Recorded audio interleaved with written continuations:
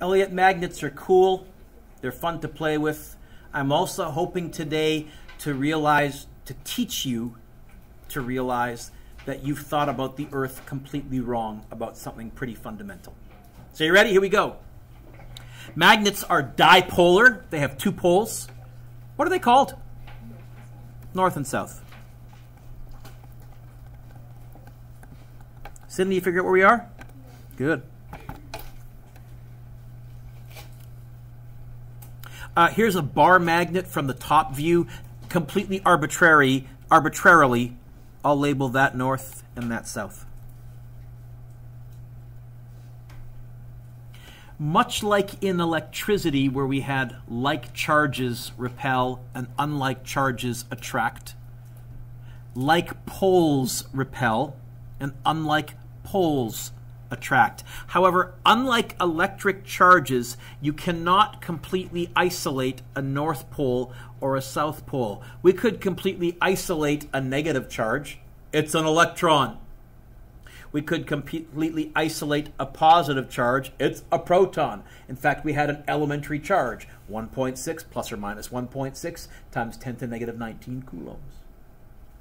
We cannot do that with magnets if I broke this bar magnet in half, I would not end up with a north magnet and a south magnet. As soon as I snapped it in half, this would be a south pole, that would be a north pole, and I would have two small complete magnets.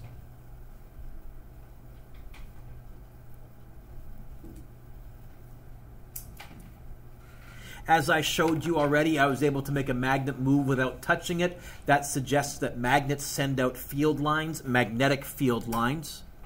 Well, if we're sending out a field, because fields are vectors, what's the direction? For electric field, it was which way would a positive want to move if it could. The direction of magnetic field lines is a little easier. Magnetic field lines always point from north to south.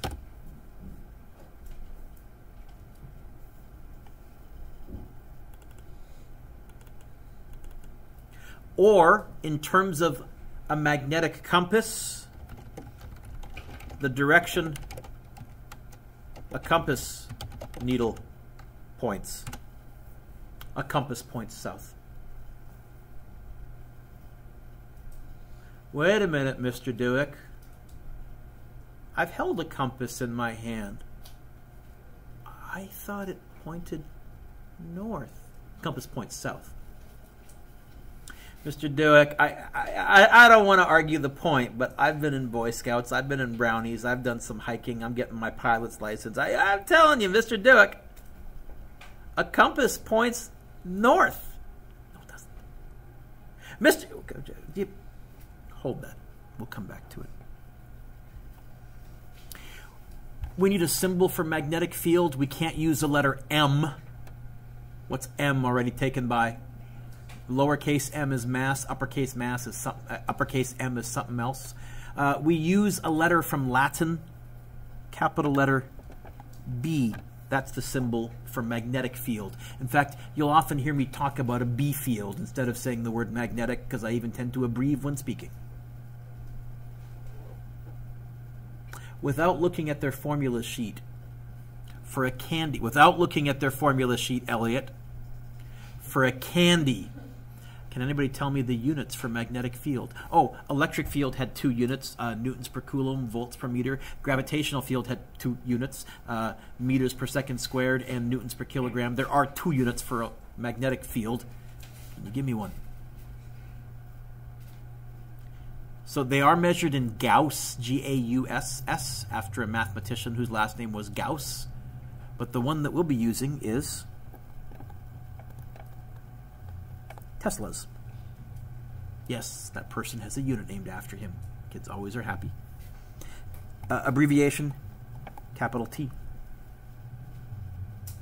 And since I'm introducing a new concept to you, I always like to try and give you an idea of what's really big and what's really small. So the Earth's magnetic field is around 10 to the negative 6 Teslas. That's enough to make a compass point south. I still think it's north, Mr. Dueck. Patience. Uh, very large magnetic field would be, say, uh, 4 Teslas.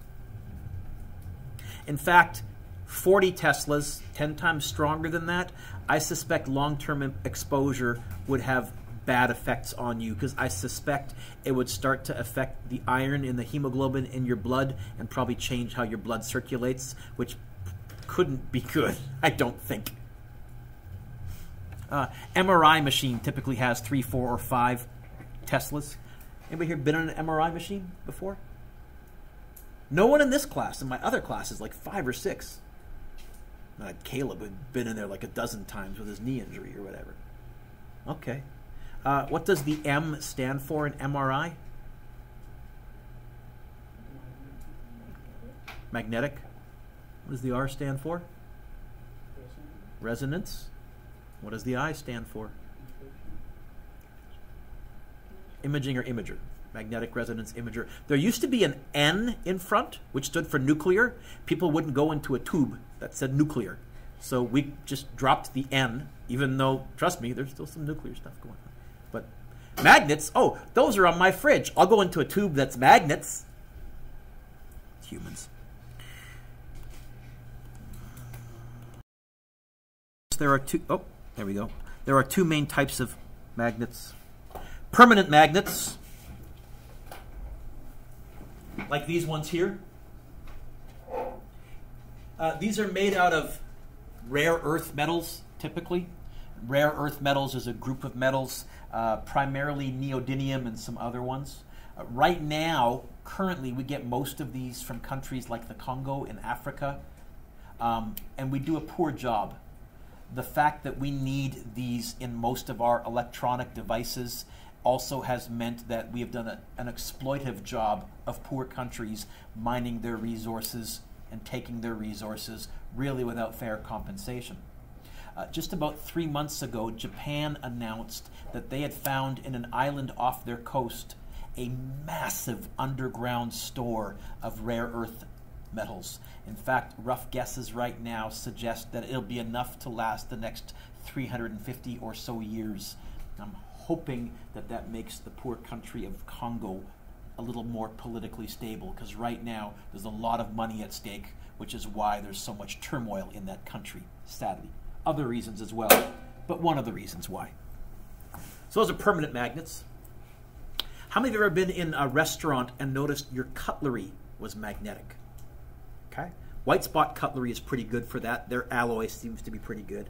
Uh, one way to generate a permanent magnet is to take a ferromagnetic material and strike it with a sharp blow, very hard, whack.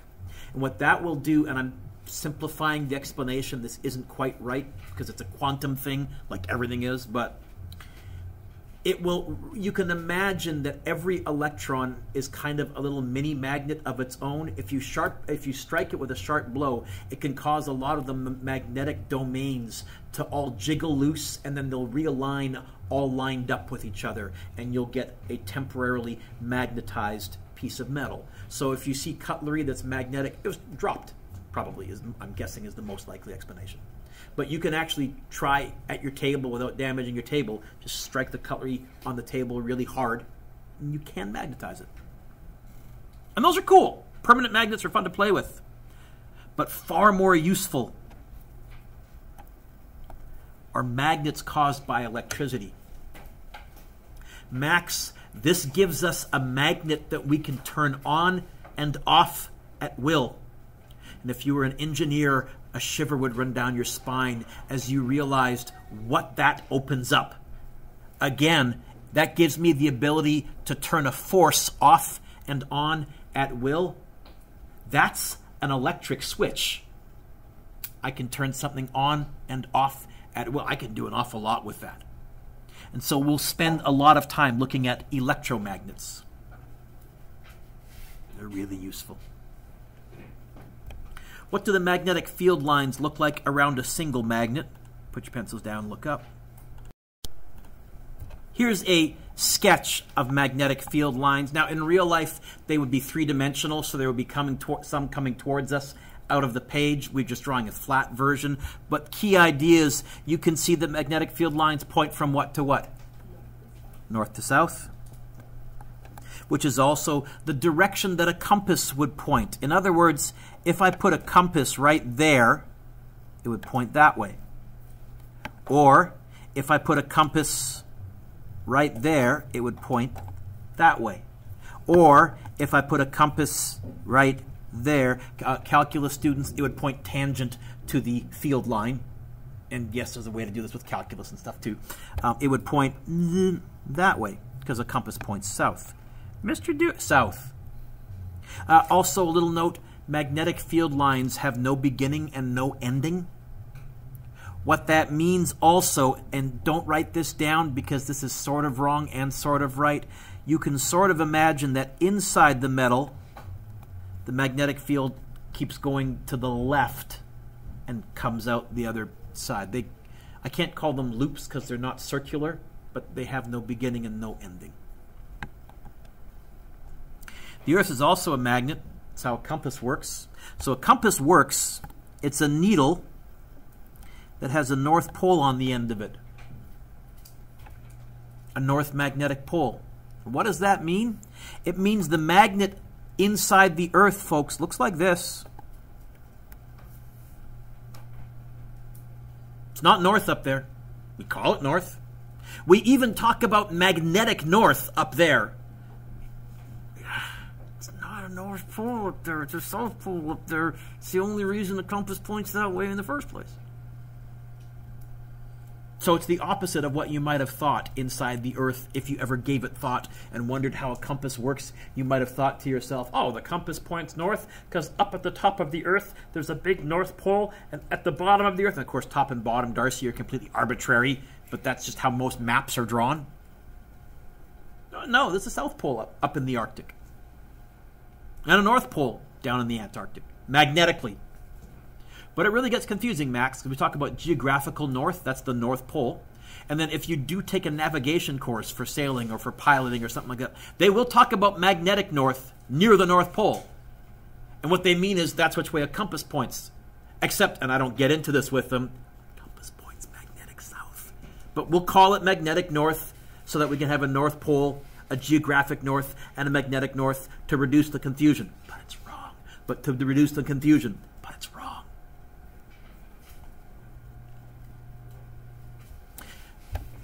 You can draw magnetic field lines, or given a magnetic field line diagram, you can recognize whether it's north and south.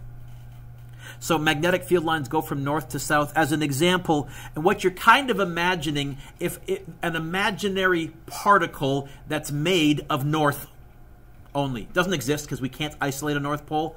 But the magnetic field lines also show you which way a little imaginary north would travel. So if a north left right here, it would get repelled by the other north and get pushed that way and get sucked back in there, kind of like that.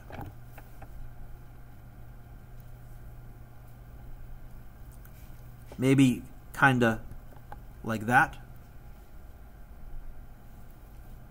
Sydney, if it left here and got really far, it would get repelled. It might vanish and it might slowly come back on. It might go off our page and re-enter the page like that. You can imagine that loop continuing off the page. Uh, from the other side as well, very similar. We would have stuff go. Sound effects are optional.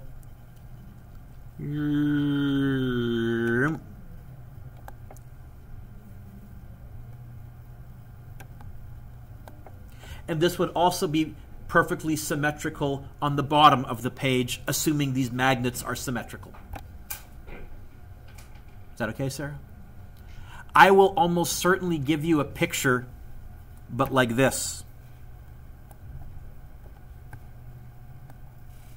And just ask you to tell me, hey, which is north, which is south, or some variation that might be a north and a south facing each other. You would see that the lines were attracted to each other. Uh, it might be a south and a south facing each other. You'd say that they were still see that they were repelling each other, but you'd also notice, oh, the lines are going in the opposite direction from north to south. Okay.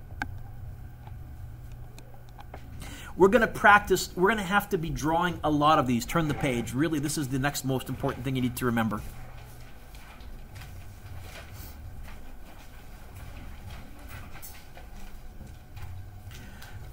Michael, we finally reached the limit of what we can do two-dimensionally on a flat piece of paper. You're going to find that we're going to have to model things three-dimensionally.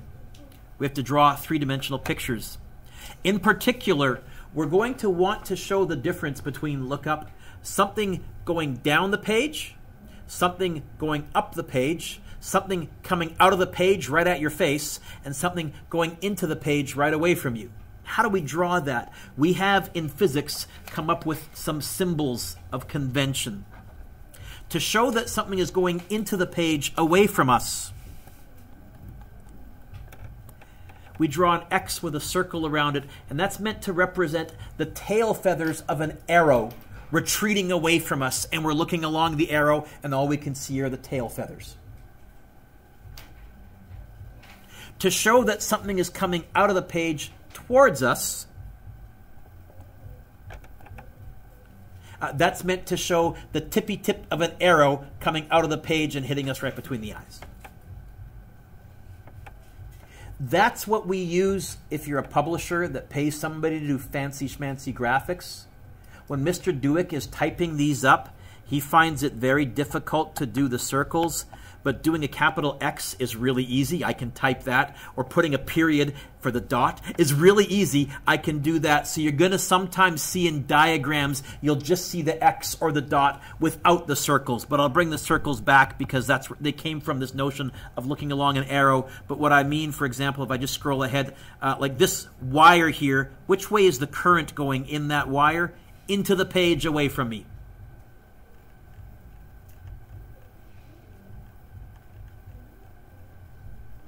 Which way is the current going in this wire into the page away from me? Which way is the current going in this wire? Out of the page towards me. But then you're going to see,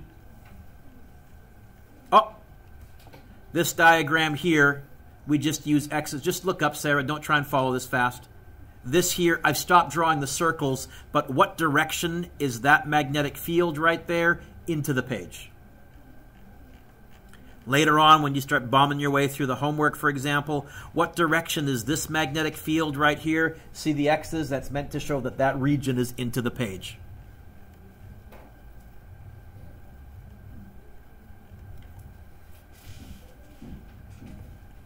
No, lost my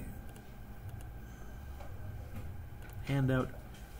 These X's, that region is into the page that region is so the circles don't always appear. Um, and I think I even have one here just with dots coming up if I recall. I think I do Mr. Dueck. Come on. Yeah. Uh, right here those dots above and below are meant to show something coming out of the page at us. So usually the circles will appear. Not always. What's the units for magnetic field Folks, what's the units for magnetic field? Teslas. Uh, what's the symbol for magnetic field? Capital B. Which way do magnetic field lines point? From what to what? From north to south. Because you can't isolate a pole, there will always be a north and a south, unlike the electric field one where I had to phrase it carefully because it was possible to have a negative by itself or a positive by itself. That's why I did that convoluted. Which way would a positive want to move it? could, Because I couldn't guarantee that both were on the page. Uh, we can't isolate a pole, so from north to south.